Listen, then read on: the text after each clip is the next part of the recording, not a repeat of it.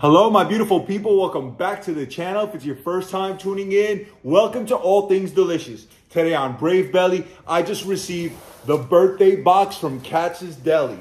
That's right, famous Katz's Deli from New York City in the Lower East Side. I got there, it's called the Pastrami Plus. We have sliced juice pastrami by the pound, sliced corned beef by the pound, mini black and white cookies, sliced Swiss cheese, uh, deli mustard, Reuben dressing, sauerkraut, half sour pickle, full sour pickle, and deli rye bread. So this is how it looks when it comes to your house. You get this kind of newspaper looking, you know, visual Katz's Deli print paper for aesthetics. Why not? You are probably paying a lot of money. This is a gift from my younger brother. It's my birthday tomorrow. So thanks, Adam. Appreciate it. You brought me a little taste of home. I'm from New York City. That's why I'm wearing this cheesy t-shirt, but it's fitting for the occasion. And so this is basically the instructions. I'm going to pull everything right now. We're going to see how it shows up at your doorstep.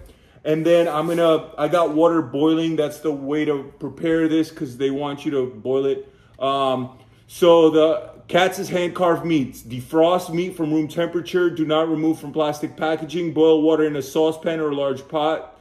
Enough to submerge entire meat package. Submerge entire package in boiling water. Five minutes. Remove package. Blah, blah, blah. Slice and enjoy. So that's pretty straightforward. Look how pretty it looks. I'm sure I won't get it to look this good. This is photoshopped and everything, but we're going to try our best.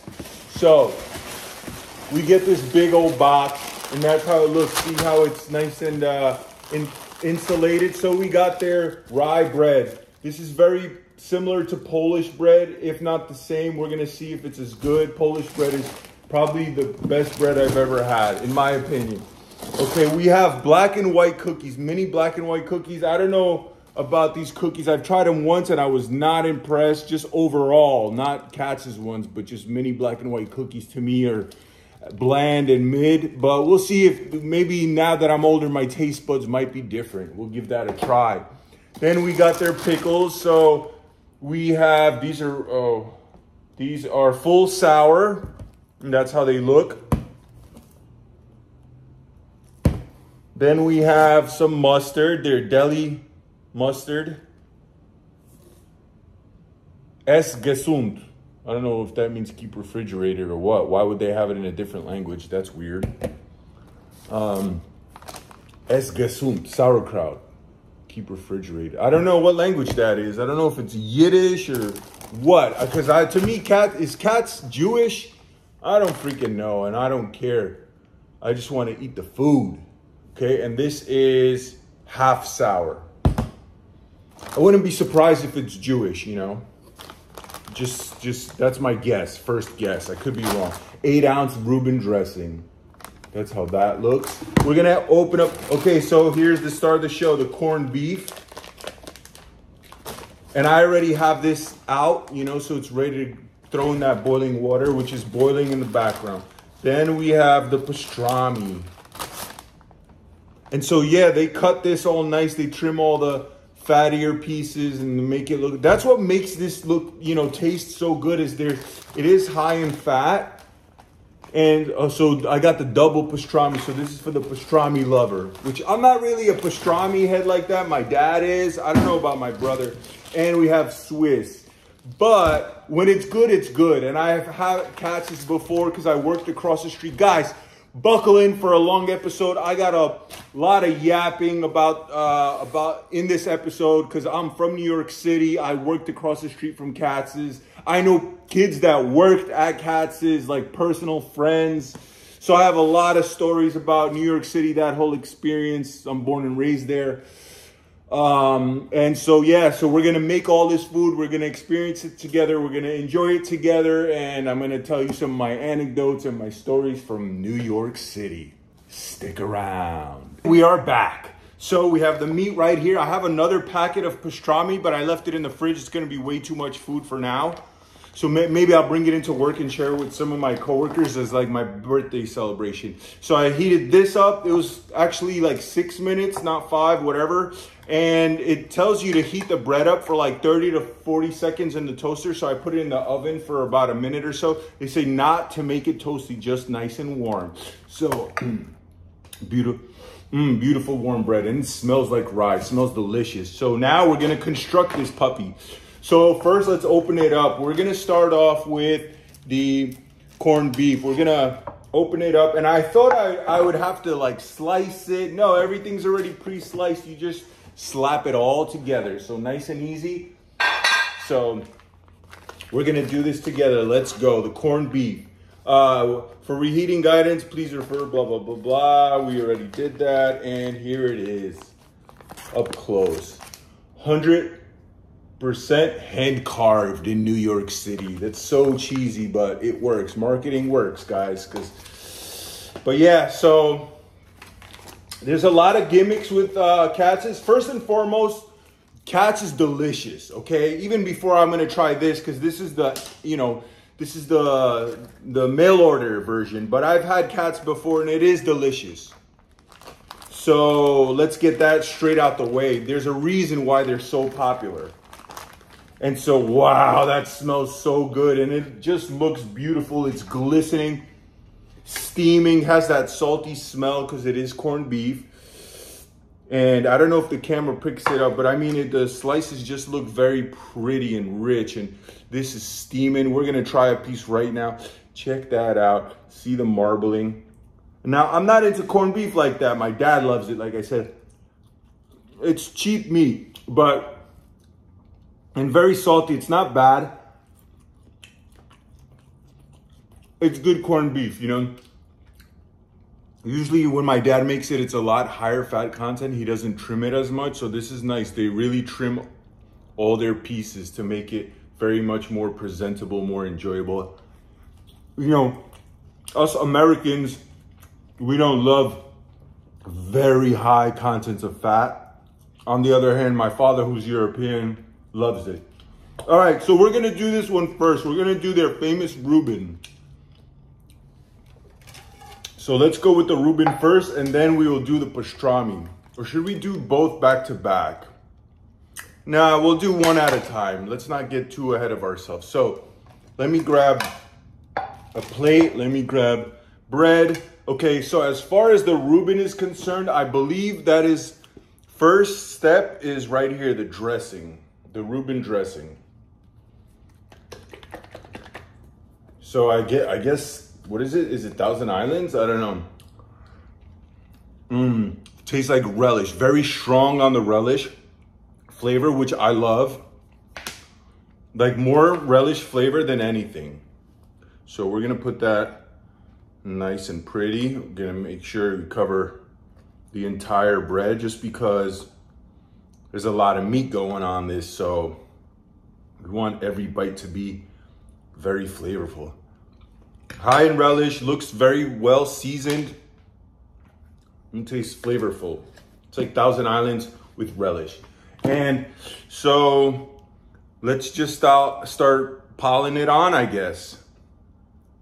We're gonna put a fat piece in there, why not? Now, normally this would be enough, but Katz is known for their humongous fatty sandwiches. So we're gonna make it extra fatty the way they, or thick, I mean, the way they actually serve it.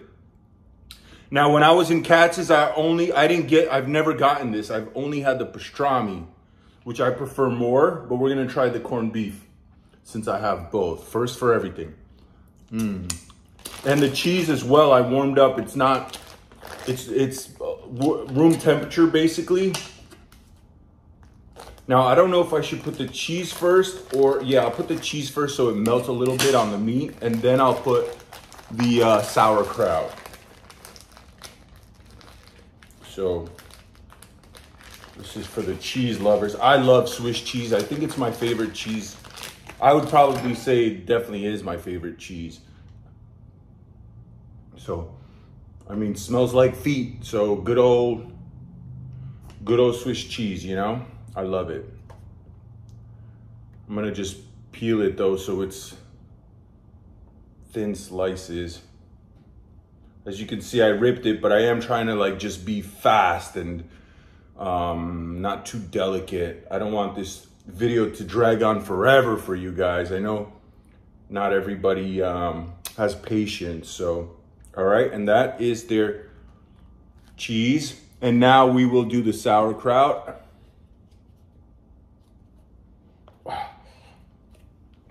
My hands are all greasy. Don't you worry. Maybe these will help. I should have wore these earlier, but I was like, nah, who wears gloves? Like, I'm not working. This is for me. So,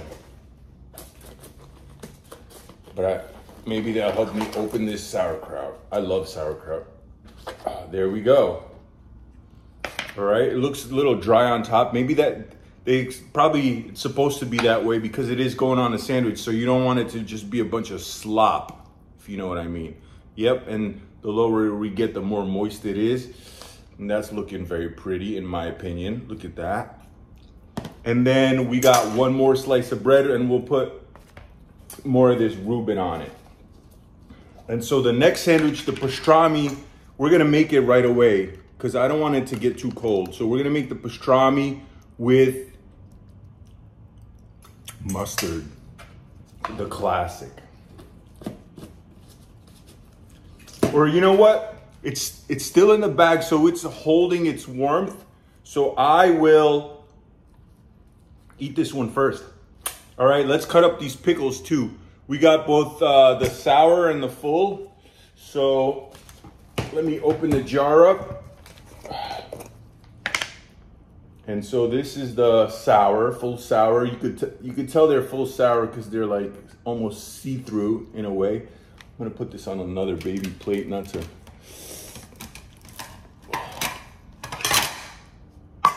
Okay. And then we'll compare it to the half sour. Fun fact, one of my best friends growing up bought a very famous pickle company out of Queens, New York. It's called Eddie's Pickles, guys. If you ever heard of it, let me know in the comments down below. So yeah, he was my best friend. You know, we haven't hung out or seen each other basically since high school. You know how life goes. Think people do their own thing and people grow apart, which is I guess what happened. But shout out to my boy Ralph.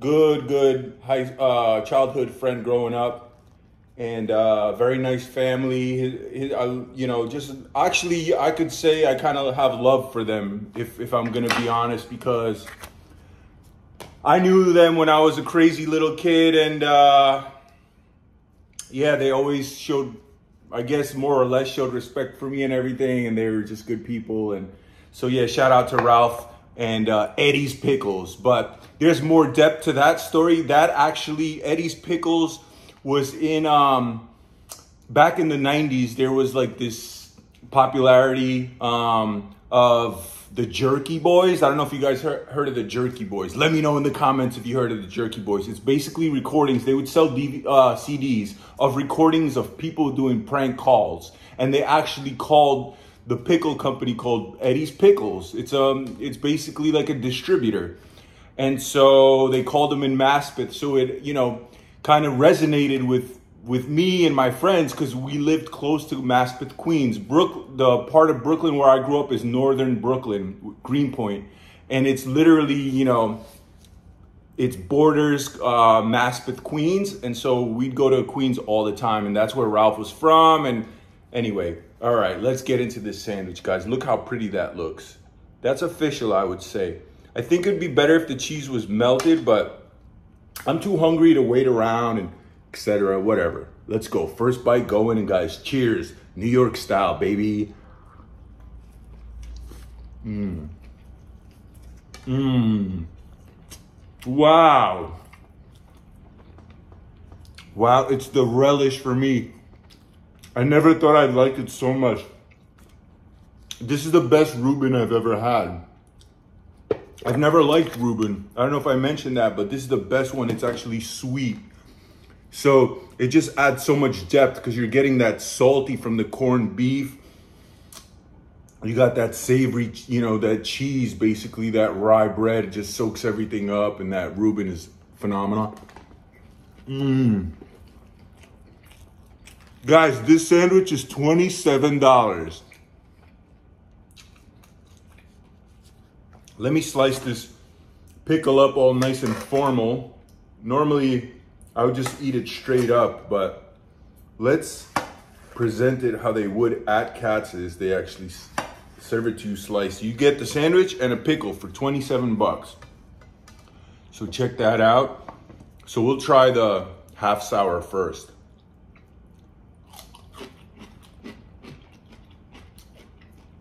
Yep, tastes half sour. It reminds me of cucumbers from my grandpa's garden in Poland. Not really used to eating these unless I'm in Europe. I'm just not a picklehead like that.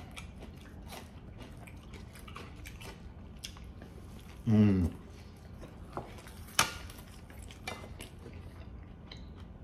Guys, I'm so surprised because this truly tastes better than when I what I anticipated. Mmm. It's actually very complex in flavors, like, and they're all like savory and mm, mm really good. All right, let's chase it with the full sour. Mmm. For me, it's the full sour. Wow. That's the way to go. Because the sour also like gives that brightness and cuts everything, all the savoriness down. So it's this intricate dance of balance. Mmm.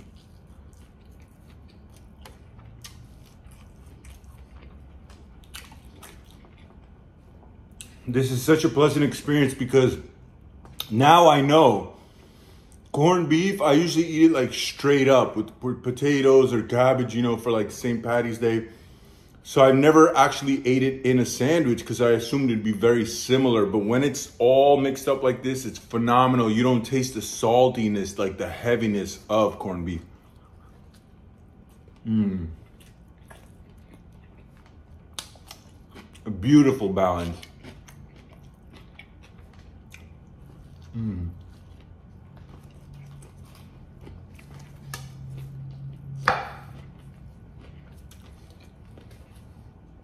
Guys, we're moving on to the pastrami.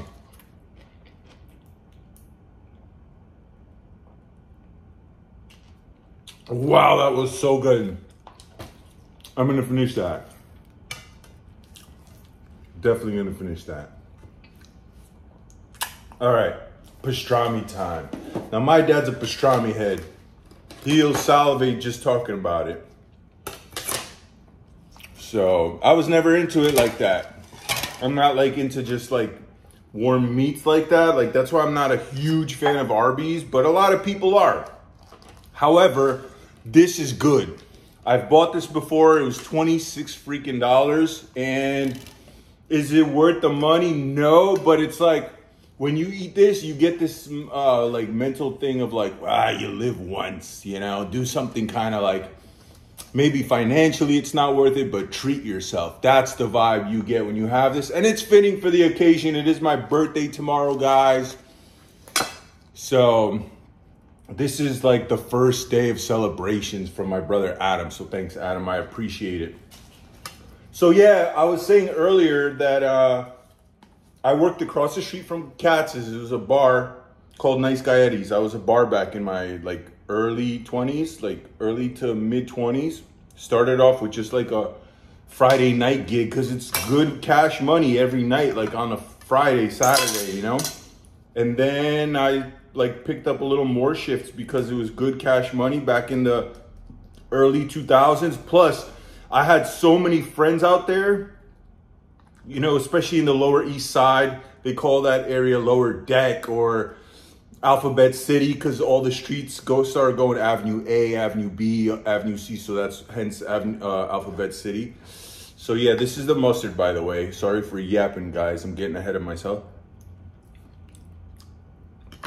This is the type of mustard. This is my favorite mustard. Honey mustard is only good for like burger or fries, but this is mustard I like for like everything else. For hot dogs, for this type of stuff. Is my favorite mustard. And so anyway, I was saying, yeah, so I was working there and I loved it. It was cash money, um, good money, very, very little work. Um, a lot of great friends that I have to this day. Shout out to my boy Justin. He got me the job. Um, what else can I say about uh, the Lower East Side? My friend SD2 which is my friend Eric. I haven't seen him in ages. Who knows? He uh, last time I heard he was married to a Dominican girl and moved to Uptown, like Harlem, I think, or somewhere like that. Uh, who else? Mike McGinnis, who's or just I guess I don't know if I was supposed to say his last name, but yeah, Mike. Shout out to Mike, who now lives in Texas, has a beautiful wife and a son. Just a lot of friendships from working and you know in that area in the Lower East Side, across the street from Katz's. So check this out. This is the pastrami, steaming hot. And so I just remember the pastrami. They just serve you hella pastrami on mustard, on rye, and that's it. And they just pack it. Like I remember it's bursting. And I think it's because the pastrami, look how beautiful it is. It's just, see the outside, it has like that bark of flavoring. It's like peppercorn. I don't know exactly what that is. Maybe you guys know, leave it in the comments, but it just hella flavor and it's, you know, has greasiness to it. Let's try it straight up. Mmm. Oh yeah. Delicious. It tastes so different than the corned beef. It's less salty, but more seasoned and flavored. Corned beef to me just tastes like salt. Okay, it, it, a good one. This one is absolutely delicious, but it's more salty. This just tastes like more seasonings. And like that crushed black pepper, but uh, it's like that pepper has only flavor, but zero spice in a great way. Mm. So yeah, I put like, I guess they would probably put all of this in the sandwich, which is probably like a half a pound, if I'm not mistaken. And so the pastrami it's $26. That's 27 and this is 26 for one sandwich. So yeah, it is crazy. It's is it worth it? Only once in a while, treat yourself like once a year, something like that. You know, I can't speak for everybody. That's how I just that's how I actually have Katz's food. Once every freaking 4 or 5 years. Cuz otherwise, you know, I'm not rich like that. And if I was too, I don't think it's smart to have it very often because then it loses its lust, you know, its luster. It loses that specialty factor. All right, guys, we're going in with the first bite. The famous Katz's pastrami on rye and mustard. Check that out. Ready? First bite going in. Mmm. Wow. Mmm. It's got that gelatinous texture to it, so good in flavor and and just rich. And this to cut it down. Mmm. Oh yeah, the full sour is definitely where it's at. So yeah, $26. Is it worth it? Mm. Yes.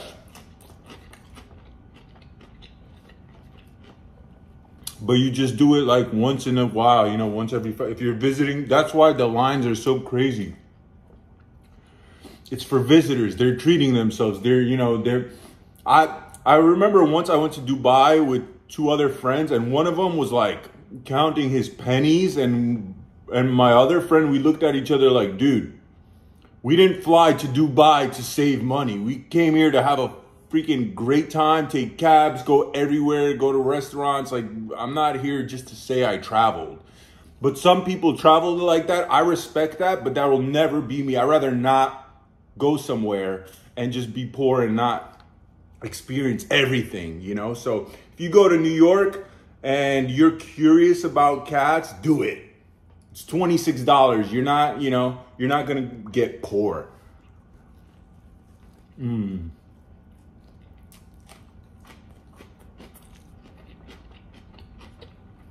Now, you definitely wouldn't buy this every day, that's for sure.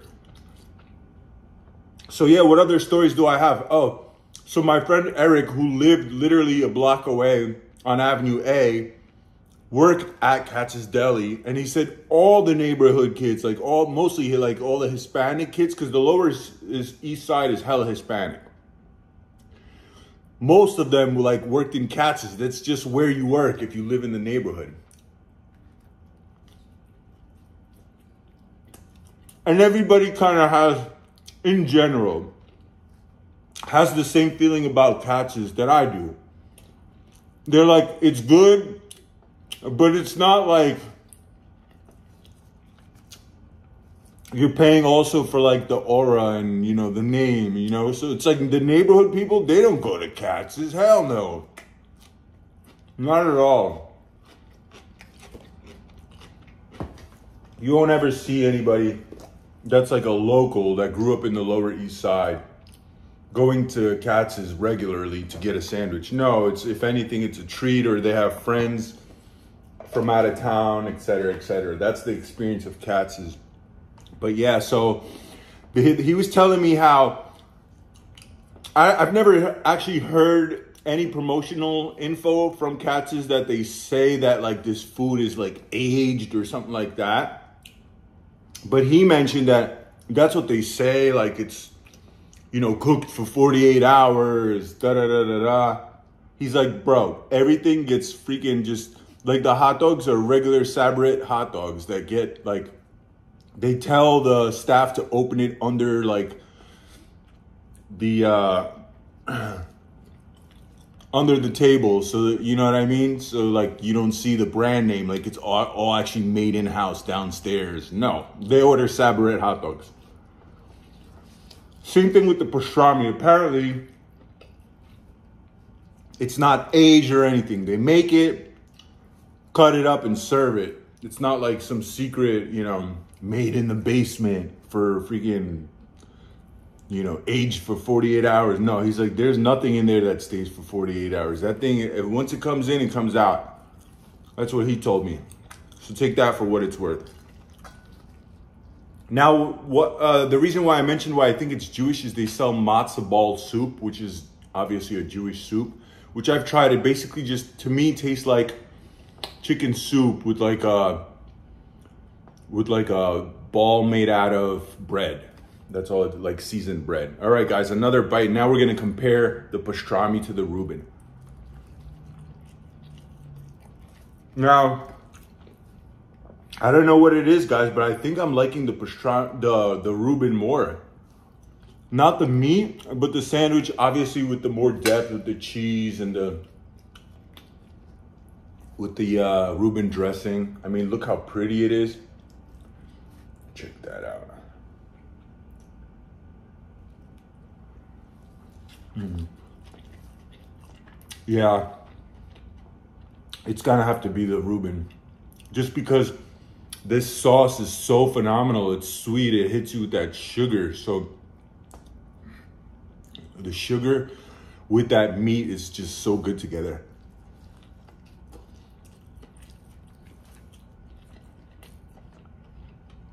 What I would suggest, if you go to Katz's, if you go with somebody, one person order the Reuben and one person order the pastrami and split it. And if it's just one person, I would guess, I think I would probably go for the, uh, for the pastrami. Even though I'm liking this one more, I feel like the pastrami, like you need to try it to know what all the buzz is about. I think that's like their staple. Mm.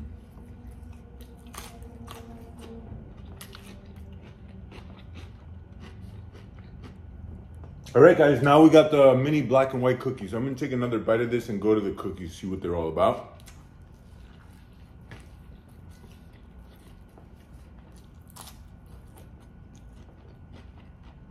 I would say this sandwich is like a nine out of 10.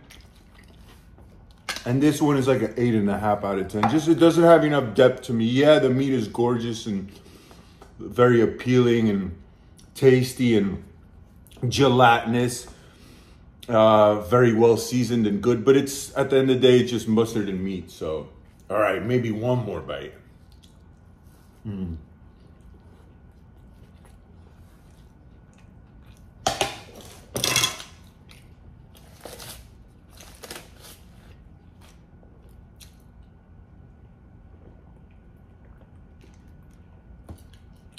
And for another suggestion, if you guys go to New York City, if you don't want to buy, uh, if you're not in the mood for one of these sandwiches, you have to try a New York City hot dog with uh, sauerkraut, onion, and mustard. And you could do ketchup.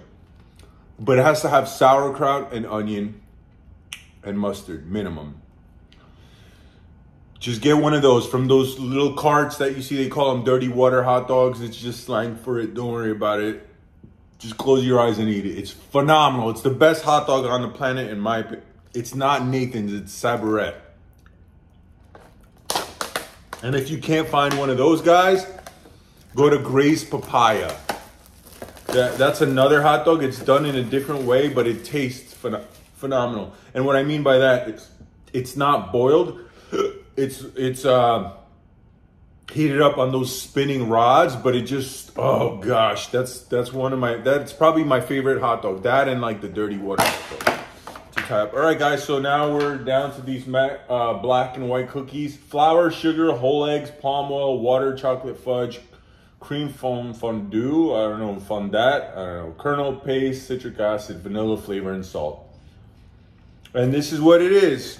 So I've never been into these. Let's see if they're any good. I don't know if these are like Jewish cookies or New York City cookies, but they're kind of like iconic.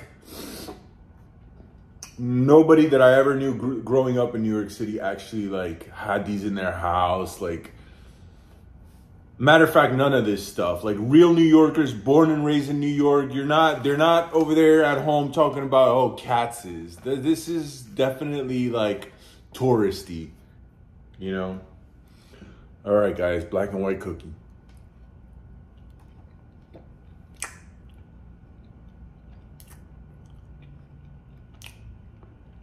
tastes better than I remember it because it's a little softer. Like the actual cookie itself is good. But I do not like fudge. Like it tastes like syrup, like Hershey's syrup. You know what I mean? Like it doesn't have a milk chocolatey taste. It's just syrup chocolate. So it's like if you poured syrup on a soft cookie. So it tastes cheap. It doesn't taste rich and delicious. It just tastes like uh,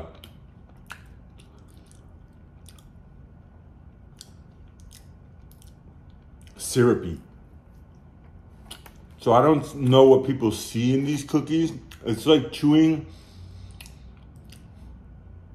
It's like having a soft cookie, which is not bad, you know, but very basic, like a vanilla cookie with good texture. You know, it's a little mushy and chewy. It's it's not bad at all. But if it fell in like a vat of chocolate syrup, so that's the strongest flavor is that chocolate syrup. And this white just tastes like cheap frosting from like a cake.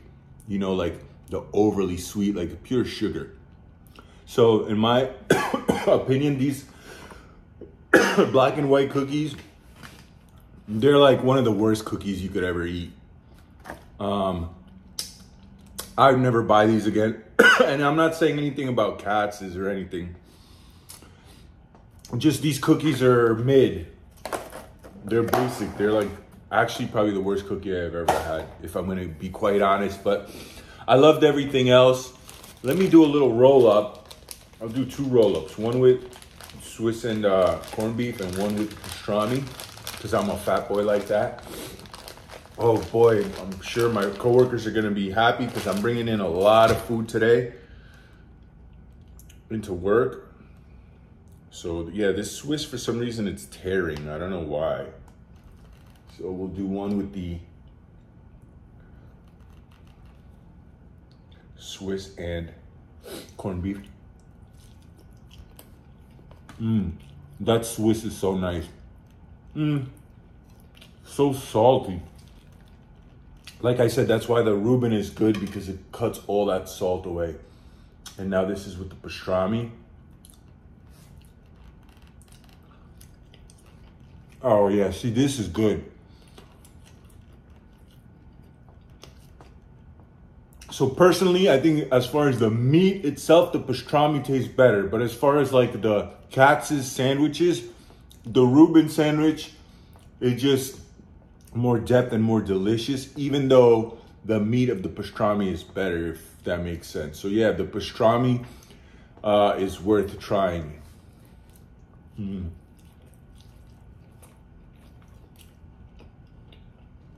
Guys, and that's it. If you stayed along around for this long, thank you so much for, you know, truly liking my content. Uh, please like, share, and subscribe. Till next time, signing off.